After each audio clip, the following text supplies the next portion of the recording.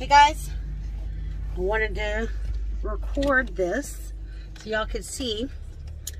We are taking two vehicles, but we've got all the birds and we're going to the vet today.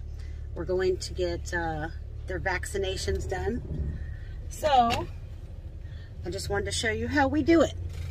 But it's real fun because we're taking all of them on the same day. Anyways, I gotta drive. My husband's behind me with some of the other birds.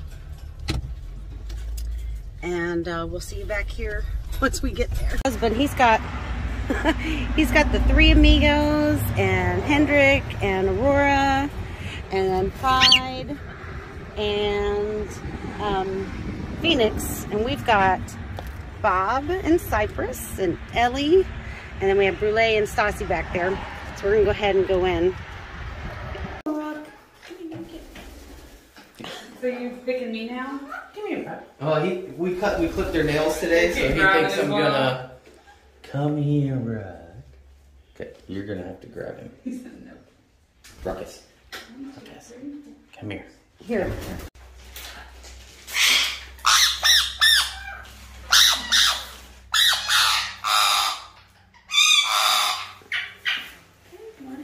Oh, Rook.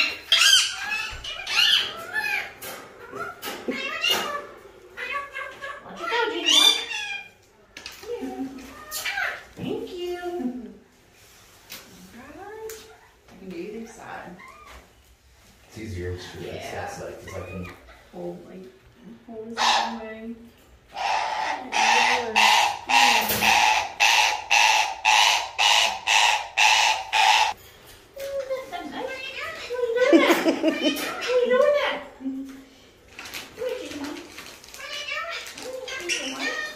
Who's it saying that?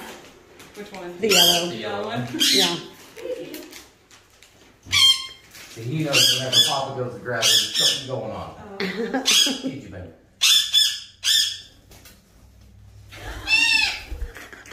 Come back to you. These are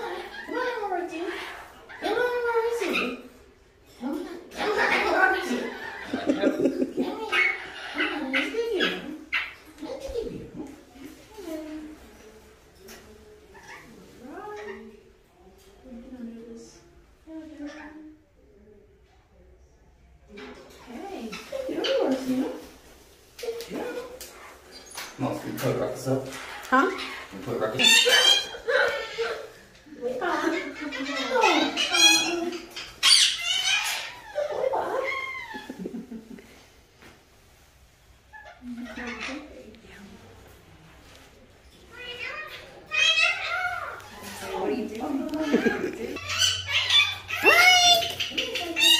What, baby?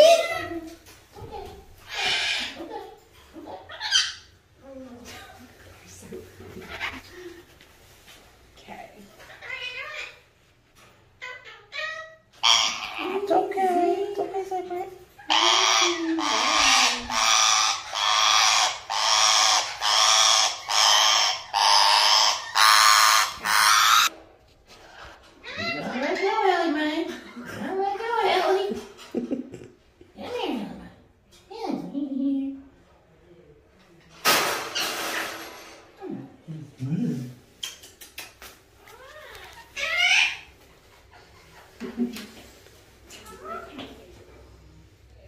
She's a biter.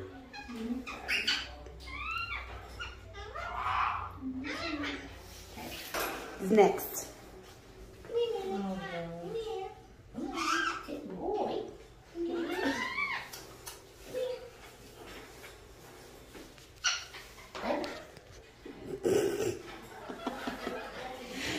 You're so silly.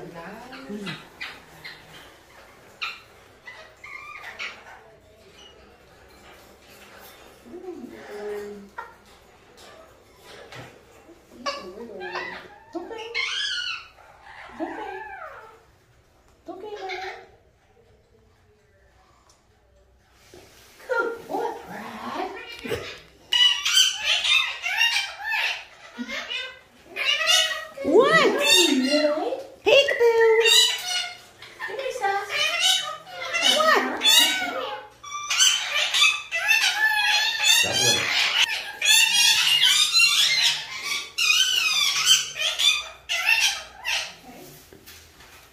That is it. That's it? That's all. Okay, so we're back home and all the birds are settled back in and taking naps. That's why it's so quiet. Although there's plenty of them in the playroom right now. There's only four. Uh, and the living room area with me on play stands. But I just want to talk about um, the vaccine in general.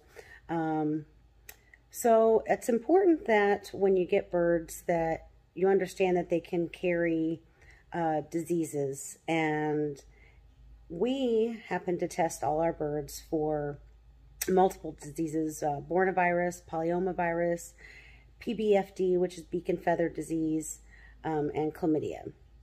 So um, even though they're tested, uh, we go ahead and we get the vaccinations every year um, for the birds as a precautionary thing, just because it's available. Look, if there was other vaccines available, we'd probably get those too, but there's not. And uh, as far as I know, the polyoma vaccine is only available um, in the United States and not in other countries. I could be wrong, um, but so it's important that when you have birds, you quarantine them when you bring them home before introducing to other birds that you may have, um, just as a precautionary in case they are sick, because you don't want to get your other birds sick. Uh, and, and a lot of these diseases are very highly contagious, and other birds can get them so easily, and then, you know, they can die, uh, depending on the situation, the age of the bird, and so on. So I just wanted to talk a minute about that, and I'll show you what the vaccine actually looks like. So unfortunately, due to COVID, um, I've been having a hard time, well, had a hard time getting uh, the vaccine ordered because it was on back order for so long. But I did finally uh, get it. And actually the box looks like this. So you can see that it's the vaccine itself. It might be backwards for you watching. Um, and then, then here's the vial with the dead vaccine in it. And each bird only gets 0.25 milligrams in each syringe, which you may have noticed the syringes um, during the visit today. Uh, and then we also get our certificates, our state certified certificates that they did in fact get them. And those um, vaccination cards have to be signed and dated and all the information of the bird itself on the vaccination card. And I'll show you what those... So this is what they look like. Um, I didn't fill out everything like the uh, band numbers because not all of them have bands or I didn't put hatch dates this time around, but they are signed and dated and you can see that we took them today and the amount and the bird and the species and the color and whatever. That's just a little piece of what we do annually when we just go to get their vaccinations done. So I just wanted to show you guys um, our crazy little vet visits for vaccines. Uh, we hope you all have a happy Halloween if you celebrate and enjoy your weekend.